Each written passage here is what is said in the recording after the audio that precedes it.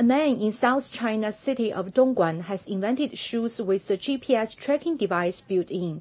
The shoes can help prevent children from becoming lost as their parents can verify the children's location using their mobile phones.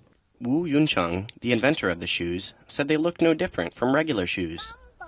But his shoes have a GPS chip inside that can be linked to mobile phones, allowing parents to find their children simply by checking their phone. The chip can run for five days on a single charge. The shoes are being manufactured in cooperation with the Zhongxing Electronics Company and are expected to hit the market next month. Wu said the shoes can even work in areas where GPS service is not available.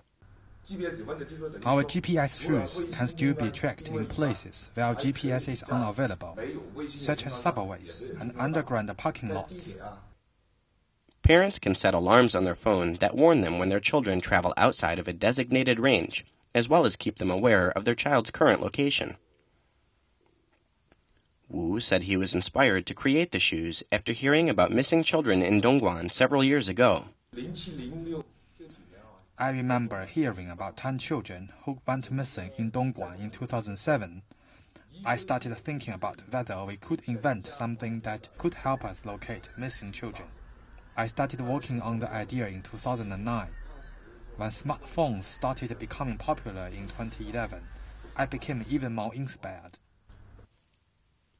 Wu said he is confident about sales prospects for his shoes, as there are about 300 million children under the age of 12 in China.